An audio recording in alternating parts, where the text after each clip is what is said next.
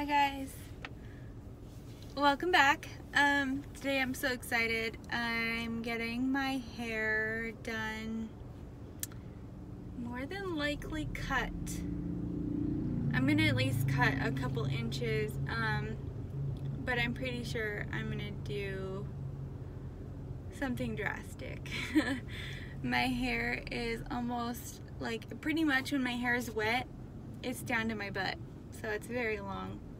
Um, kind of tired of it getting tangled all the time and I'm just ready. I'm ready for a change. I wear it up all the time as it is, so I don't know that it would really make a difference. As long as I can still do a messy bun, I'll be happy. But anyways, I'm headed to go do that and I'll show you guys when I'm done.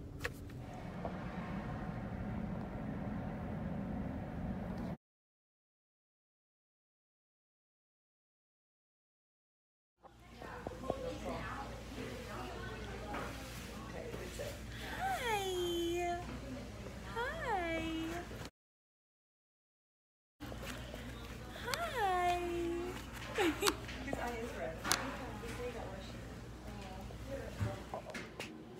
and a messy bun. Yeah, totally.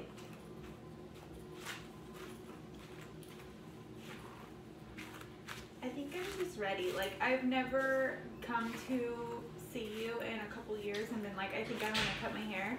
But now I'm like, this this last like, like I think I want to cut my hair. We literally do like a baby trim every single time. Mm-hmm. Should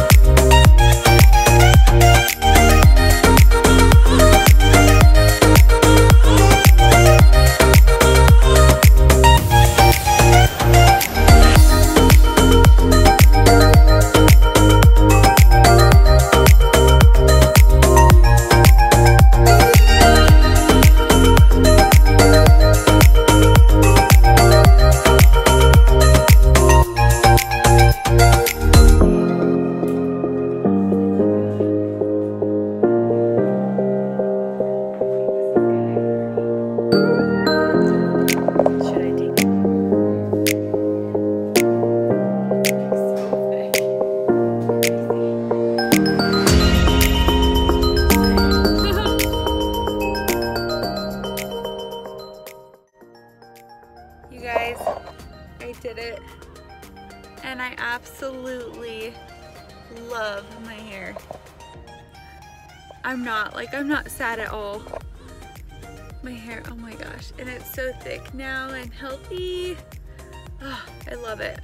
I hope you guys enjoyed that little, short little vlog. Um, I just wanted to show you guys like my feelings, my true feelings, you know, like right after I did cut my hair, during, and then like now today is a day later and I still love it. I was just hot today so I put my hair up, but I mean, it's just kind of mom life. I always have my hair up, but I still truly love it. Um, I was feeling a little bit like kind of missing my hair last night, but I'm good again today. Like, I love it. It's light, it's easy, and it's not all over the place and tangled, and I'm just so happy with it. So anyways, I hope you guys enjoyed this video.